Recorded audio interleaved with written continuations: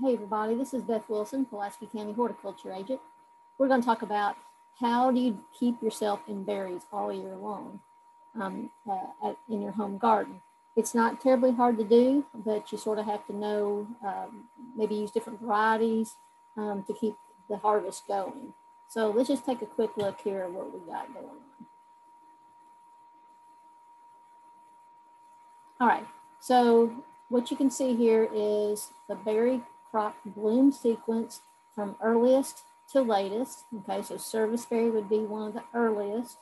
And we're just talking about berries, okay, um, not apples or, or, peaches or anything like that. So um, our service berry is one of the, the first ones that come on. And then as we progress down here, um, in, in particular, as you get down to fall bearing blackberries and raspberries, and uh, even up to gooseberries, you really don't have much of a chance of frost damage. But that's what it's all about is um, knowing when, when those frosts occur and, and what crops would be susceptible. So um, as you can see over here, this is uh, a strawberry bloom that's gotten um, frozen out uh, and frozen by uh, frost. So it's dead. That, that, um, that flower right there will not produce a fruit. And occasionally we do have frost to occur on blueberries and it causes these frost rings right here, as you can see. Um, doesn't happen terribly often, but often enough. But after blueberries, we really don't have much of a chance of um, late frost to kill the, the flowers. And so let's just take a quick overview look of how you can keep yourself in berries through uh, a season in Kentucky. So um, the first thing, first fruit that we usually have are June bearing strawberries. So those are going to ripen up um, in May and into June, sometimes into the latter part of June. Um, ever bearing strawberries as well have kind of three distinct seasons, as you can see here. Um, they're not the best things in the world, but if you need a strawberry at in July and August or in September, October, this is you can do that. Service berry has a pretty short window. They're called um, June berries as well, so they're pretty much in June. Then we go down to black raspberries that come in in June, and unless you get a couple of varieties, they really don't last very long, unfortunately. They're um, uh, come in in June and maybe three weeks, and, and they're done. So uh, this this arrow extending this way is probably uh, extended because of, due to variety selection. Then we have gooseberries that have a fairly short window as well. Blueberries can have a pretty long window of harvest.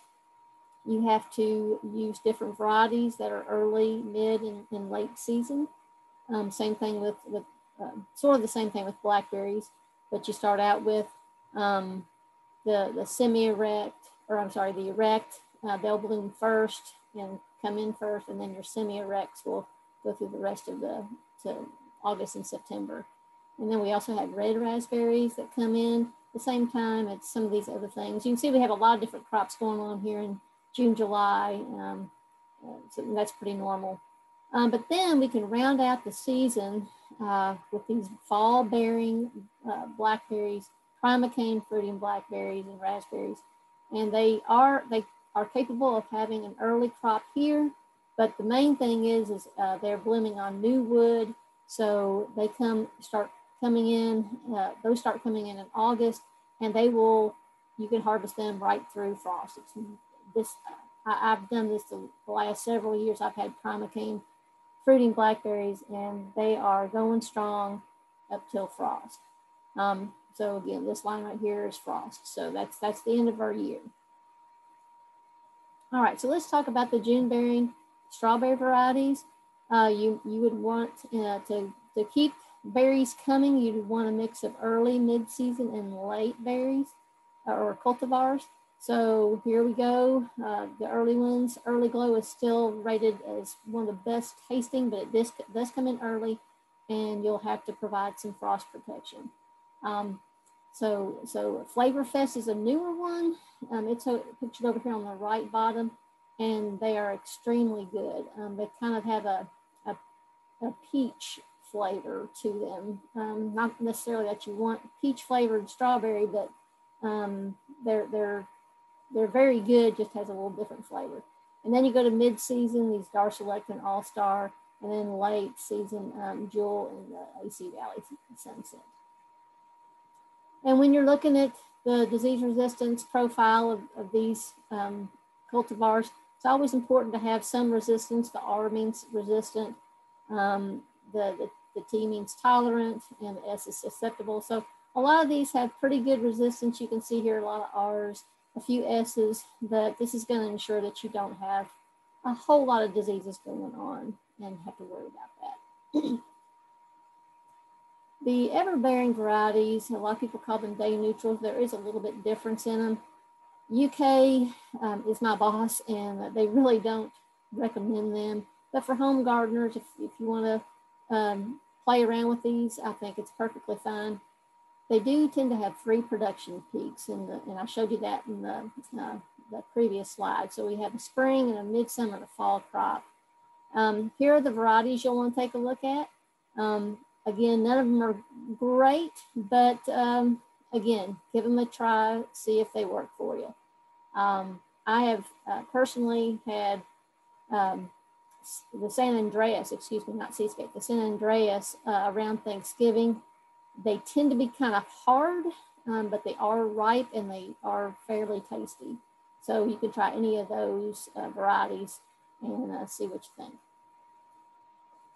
And home strawberries can be grown a variety of different ways in a raised bed. You can use them as an edging or a ground cover like so. Um, so they can certainly uh, fit into your home landscape. Um, these berry pots, I've never had much luck with it. Uh, to me, it's a watering nightmare. But anyway, um, you can try that. And of course, just let it go in the garden, just like this picture shows. Of these gutters or PVC pipe, um, I certainly would not invest the time and effort into to this kind of a growing system, um, but you'll see them. Um, I would rather put these things in a straw bale or a raised bed, to be quite honest. So I should put a big X through this, but a lot of people think this is fun and, and want to try it. All right, one slide on serviceberry. Serviceberry is a, a native tree. Um, it's an amelanchier. Um, these can be uh, one trunk or multi-trunk tree. Um, they bloom, their bloom is very, very nice. Um, and in fact, they have been bred for ornamentals, uh, the ornamental market. And autumn, autumn Brilliance is one of these hybrids they've, they've done uh, and has this wonderful fall color. Um, but they do um, produce these nice berries in June. Um, and as you can see here, I picked my black raspberries and some serviceberry and they're coming in at the same time. Um, there's not a lot of information on what type of or what cultivar of serviceberry to, to plant, um, but I did see some information from Cornell that has a that had listed Shannon and Indian as the largest um, berry of the serviceberries. Um, and there's, um, as far as taste goes, there's the Smoky and Pembina or Pembina. Um, and then just some older varieties. Uh, one's called Success and Dwarf Mountain. I don't have any uh, direct experience with these. Uh, I don't even know if you can find them out there, but just uh, just a, a regular Allegheny, Shadblow, or Downy service serviceberry will produce these nice little berries. Black raspberries. I love black raspberries. I don't know about y'all, but it's one of my favorite fruits. Um, it basically comes in in June. Um, they grow from a crown. They don't have the suckers coming up like uh, some, some of our brambles. Uh, the plantings will last you a pretty good while, so make good selections to begin with. Um, again, you can kind of spread out that June harvest season by having early, early season, mid season, and late season varieties. And um, so here's some, Bristol would be an early one, Jewel would be a mid season, and then Mac Black would be a late season. Gooseberries are also a mid-June harvest, a fairly short window of opportunity here. Um, they are thorny, so don't uh, don't go out with a good blouse on uh, or you'll, you'll run it, which I've done many a time. But anyway, um, the, these, these uh, gooseberries, um, they are, they can be yellow, um, green, or they can be pink. So uh, the Hinnomaki Reds, Invicta, Amish Red, and Pixwell are your varieties to choose from. there is one called Friend, which uh, I don't have, in, there's no date on like how, you know, how well it yields, but it is thornless. So if you want to try that one out, uh, you can do that. Let's talk a little bit about blueberries. They tend to be a fairly uh, uh, popular plant to put out. And um, we can stretch our harvest from June to August with uh, early, mid, and late um, uh, season cultivars. Uh, these uh, plants, when you plant them, are going to outlive you. So be sure that you make good, good variety selections. Um, they really do like a raised bed that has, um, that you put a, an organic mulch on and re replenish that every year. So here's uh, some, uh, some recommendations for varieties for our early, middle, and late season harvest. Um, Patriot is an early one. Here's your mid seasons. We, we are usually um, uh, using um, um northern high bush blueberry, blueberries as our varieties, but Ozark Blue is a southern high bush. Um, but these other, these are all fairly um, old varieties that we know work, work well. Um, Elliott and Aurora will be the, the latest varieties that we have. They'll come in uh, in August. Um, we do have some, if you want to stick these plants in containers, there are now that they've been breeding these to go in containers. So we have Friendship and Top Hat, and then Stark Brothers has a series of these Bushland berry varieties that you may want to take a look at um, on their website. Now, before you plant a blueberry, we can grow blueberries wonderfully well in Kentucky, but they do have specific soil requirements. And if you do not get those specific pH requirements correct, you'll waste a lot of time on blueberries that will never do anything. So um, be sure if you're gonna, if you're interested in growing blueberries, you must, you, I would highly, highly recommend that you get a, a soil test and we can adjust that pH down to four and a half to five before you ever plant. It's very hard to adjust the pH once it's planted in the ground because we can't put as much sulfur down and sulfur is what we're going to use to decrease the pH. as I uh, said before, raised beds um, is the way to go with these. If you could incorporate peat into the, the, the planting row, that would be great. Um, we also incorporate peat into the planting hole at a 50% soil, 50% peat ratio.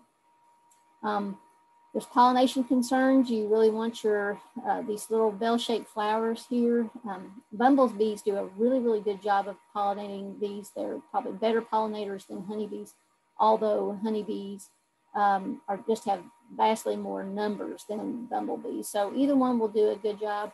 We like to have at least two varieties to improve the fruit set on both varieties. Um, without just planting one variety, you will get some fruit, but you won't get near as many as if you have two varieties that will cross pollinate. Um, the picture on the lower left here shows a teeny tiny blueberry plant that this person allowed to fruit. Do not allow blueberries to fruit the first or second summer that they're in the ground. Strip off these, uh, it's, it's painful, I realize, but strip off these flowers when they come. There is um, something that happens when you overstress a blueberry plant when it's this young by, you know, having it put fruit on, it just will put that thing in a funk where it just never comes out of it. So uh, do yourself a favor, adjust your pH down to four and a half to five or five two, strip off these flowers for two years, let it and allow it to fruit the third year, maybe half of them. Um, the other thing you'll have to worry about if you if you grow blueberries is birds. They will come. They love blueberries, so you may have to set up a system uh, like this where you uh, net put a net over top of your planting. And the picture over here on the right is just sulfur. That's what we use to adjust the pH downward. All right, let's switch to raspberries. We have uh, June bearing and we have fall bearing. Um, June bearing red um, are, are these varieties here. We do have purples as well. That one's called Royalty. And then we have a lot of fall bearing raspberries. Um, um, and here are the, the um, the R's mean they're red, and the, the Y down here means and is a is a yellow um, color fruit. But sometimes you can get um, these June bears to to to um, bear over here in the fall. Sometimes it happens, not always. But these are, you know, if you like raspberries, there's no doubt these are some, some good varieties to try. And here's just some pictures of Autumn Bliss and Joan J, which is a thornless. All the other ones are thorny. Um, and here's Caroline. All right, we have blackberries as well. Uh, blackberries is more of a, uh, we, we know blackberries in Kentucky. Raspberries maybe not so much, but um, you'll want a variety of different types that will come in at different times. So your first harvest in late June will come from these erect blackberries. And here are four um, uh, varieties to choose from there, Natchez, Ouachita, Osage, and Ponca. And then we have semi-erect. Um, these come a little bit later, sometimes uh, early July. Triple Crown is, is still one of the better tasting ones and better producers. Um, these semi-erect, don't let the erect um, kind of fool you. Uh, Triple Crown will grow a massive amount of cane. So you want to give this plenty of room and have a trellis system set up for both Triple Crown or Chester for that matter. Um, we also have Primocane Thorny and Primocane Thornless. The primocanes, so, so the erect and semi-erects are coming in in, in June and uh, late and into July.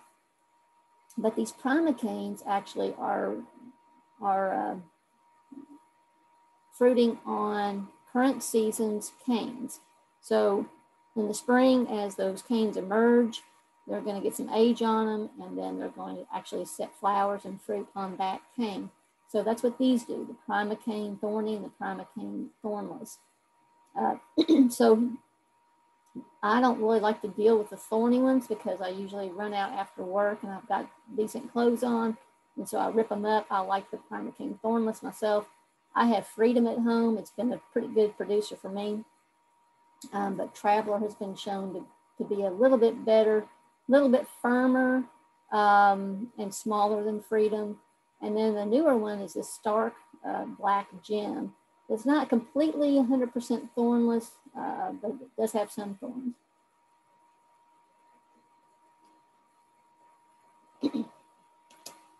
so let's go back to erect and semi-erect. Um, we're not talking about, about primocane ones.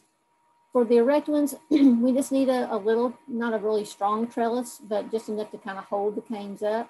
Um, they, they will winter kill at negative 10. Um, the berries are very, very good. The seeds aren't as big as the, uh, or they're, I'm sorry, the seeds are bigger than just a regular thorny one, um, but they're not quite as productive as these semi-erect. And um, this SWD here means spotted wing, whoops, spotted wing Drosophila. And that is a new pest that we have that pretty much gets into most of our summer fruits. So these are coming in and um, avoiding most of the damage from spotted wing Drosophila. The semi-erect, on the other hand, if we start from the bottom up, spotted wing Drosophila loves these. They will get into them, and we'll have we'll talk about what just what exactly these uh, pest, this pest does. Um, semi-erects are the most productive, and we talked about triple crown. Um, the berries and seeds are larger than the erect or the um, kind of wild thorny ones. Uh, and you'll have to have a trellis for these because they can produce a massive amount of canes. And let's talk a little bit about the primocane thorny ones. Again, um, you, if you want to try these, that's fine. I, if I'm going to pick and um, do the, the work though, I'm going to I'm going to choose the thornless ones. So a very light trellis is suggested again, just to kind of hold these, um, these things up. Um, we don't really know all the hardiness yet. Um, it, does, it, will produce two crops. It's a little confusing, but um, it will produce two crops, an early one and then a late one till frost. Um, Prime-Ark 45 was one of the best ones that came out um, it, for commercial growing and um, it doesn't have orange rust so far, which is a, a, kind of a big deal, which is a kind of Um, it's, a, it's a disease that gets in there and you have to just rub the plants out. And let's talk about the Primocane thornless blackberries, the Prime-Ark Freedom, the Prime-Ark Traveler. Um, uh, again, just a, a light trellis just to kind of keep the canes up. They will produce two crops again. Prime-Ark Freedom was the first one that came out and um, it basically will produce from mid-June to frost. Mid-June and July will be that uh, one of these two crops and then they'll, it may take a break or it may not, then the, then the, new, the uh, newly emerged canes that grew this year will then start to flower and fruit. Um, Prime-Ark Traveler came out a little, little bit later. It, has a, sm a, smaller berry than Freedom, but much better shelf life than Freedom. So if you're considering that, um, Traveler may be a better choice. But I had Freedom personally, and I, I like it pretty well. So there's Prime-Ark 45, which is the thorny one. Um, here's Prime-Ark Freedom that I have at home, um, which is thornless. And then here's the Traveler, which came out a little bit after the Freedom, a little bit smaller berries than Freedom. And then this new one, the Stark Black Gem, which has a few thorns. The berry size is, is holds up pretty well though. Um, so that may be one you want to try. Now, we do need to talk about spotted wing Drosophila because um, this pest loves our small fruits. And that's what we're talking about today is small fruits. So it came in in 2012. It's a little fruit fly, just like uh, you, you, find on your bananas or your tomato and when you lay, uh, put something on your kitchen counter for a couple days. The difference is, is that this, uh, this female, instead of laying her eggs on already rotted fruit or something that has a wound, she can saw through perfectly good fruit with this little ovipositor and deposit it in your fruit. And when those eggs hatch, she deposits the eggs in your fruit. When the eggs hatch, out comes these little maggots. And that's usually not acceptable to um, to our in our mind. We just don't we just don't want to see that. Uh, so let's talk a little bit more about them. So how do you know if they're in your fruit? Um, you this is what happens when you leave um, a container of berries out that are infested with these um, for a couple of days. Um, it, it is nasty and you don't want to see this. So how do you know if they're in there? Well, you take a, a quarter cup salt and, and, four cups of water and you pour over some of the berries. And what'll happen is the little larvae will, will come out. It doesn't like the salt water and they'll, they'll flow here on top. So that way you know they're there. Um, it doesn't really change the flavor of the fruit um, they've made wine from and jam from infested um, SWD infested fruit. And it didn't appreciably change the, the flavor. I know it's gross to think about that you're you know you're uh, going to eat these things, but it's going to be it's going to take a lot of pesticide sprays to keep them out or row covers. So how do we manage spotted wing Drosophila? Well, number one, we keep the berries picked. We don't let them get overripe. We keep them picked. We don't just leave them, let them hang. Any overripe or unused berries, we're going to put them in a bag or freeze them. We are not going to compost them. Um, that's just a little incubator for making more spotted wing Drosophila. Um, but we, but if you want to do something more organic, um, instead of spraying uh, these insecticides below here, there's a product called Protect um, this is a very fine mesh that goes over your, your, your rows of berries. and um, it's not cheap. I'll just tell you, it's not cheap. Yes, it can be reused. Um, I don't know how long it will last. However, I don't know how much UV light is going to affect it, but um, it's, it's not cheap. Um, Martin's Produce in Casey County, that, that's right down the road from us in Pulaski County. Um, you'll have to see if he will cut you a length that's not 328 feet long. Um, but, but that is one of the better prices you'll get for 330 feet of this Protect. That's a lot of money.